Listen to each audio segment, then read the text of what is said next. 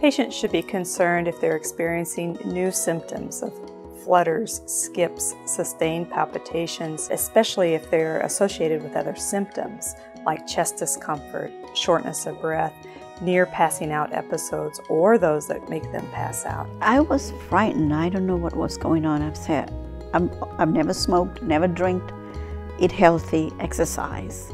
Something is definitely wrong. Some of the most common causes of heart palpitations can be stress, sleep disorders, caffeine, decongestants, alcohol, any stimulants, thyroid disorders, high blood pressure, other medical problems. We also see it associated, interestingly, with women and their hormonal cycles, whether it's the week prior to their periods or if they're going through menopause. It was so frightening, I never know when it's going to happen.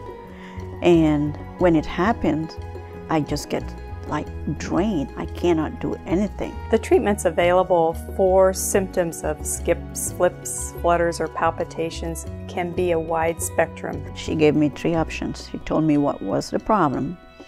She said, we can put you on a medicine regularly, or we can put you on a PRN medicine that you take whenever it comes, or there's another procedure that you have to do. An electrophysiology procedure where we study the electricity of the heart. Do we need to intervene with an ablation where we give some microscopic burns or cool the area that can interrupt these circuits? We know as women our number one health threat is heart attack and stroke. And all bets are off on the classic Hollywood heart attack sign telling us heart disease is here. It's not always chest pain. The mission of the St. Luke's Muriel I. Kauffman Women's Heart Center is to educate women about their heart health and to encourage them to be proactive about their risk factors, what they can do to prevent their number one health threat.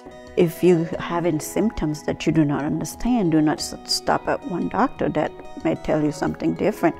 Do your research, ask other people, and try be your best advocate.